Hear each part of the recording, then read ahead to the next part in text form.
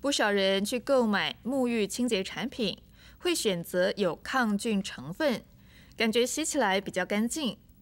不过，美国药食品药物管理局 （FDA） 日前就宣布，因为动物实验发现有致癌的风险，一年后将要禁止业者使用十九种抗菌成分的化学物质。而至于台湾会不会跟进，还要再讨论。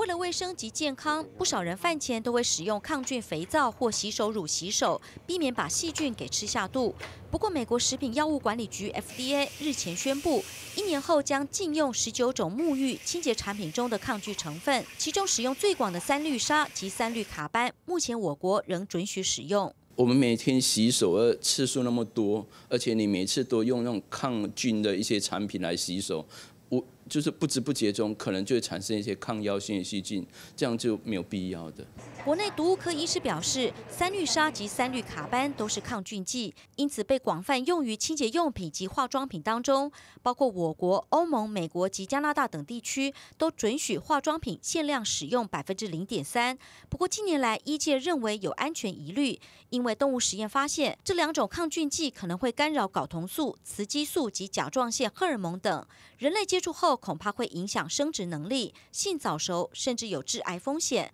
所以美国 FDA 才会宣布禁用。我们食药署会继续收集这些抗菌剂成分的安全性资料，以及国际间对于抗菌剂成分的管理规范，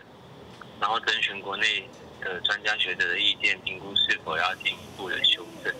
食药署强调会先了解美国禁令的细节，近期内会召开学者专家会议讨论是否跟进。而专家则是建议民众只要选择一般的肥皂、洗手乳、沐浴乳即可，不必刻意购买抗菌产品，一样能达到清洁效果。记者赖淑美林之间台报道。